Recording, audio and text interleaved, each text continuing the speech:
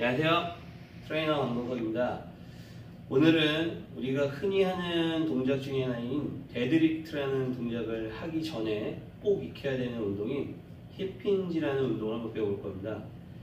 hip hinge라는 운동을 진행 시에 가장 많이 실수하는 오류들을 수정하는 방법과 올바른 hip hinge를 하는 방법에 대해서 설명해 드리겠습니다. 옆모습에서 보게 되면 척추가 길게 놓여져 있는 첫 번째 상태를 만들어주는 게 가장 좋은 방법 중에 하나이고요. 자신의 엉덩이가 뒤쪽을 향하도록 빼주는 게 올바른 힙힌지의 방법 중에 하나입니다. 손날은 골반이 접히는 부분에 놓고 편안하게 힙을 뒤로 빼면서 다시 원상 복귀를 해주시는 게 좋습니다.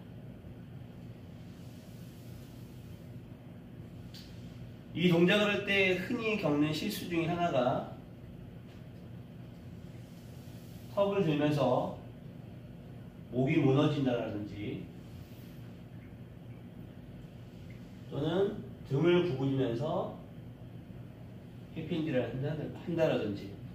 원래 목적으로 했던 동작과는 많이 어긋나는 동작이기 때문에 자칫 잘못하다가는 부상이나 또는 올바르지 못한 움직임을 통해서 뭔가 잘못된 이런 동작들이 습관화되실 수도 있습니다.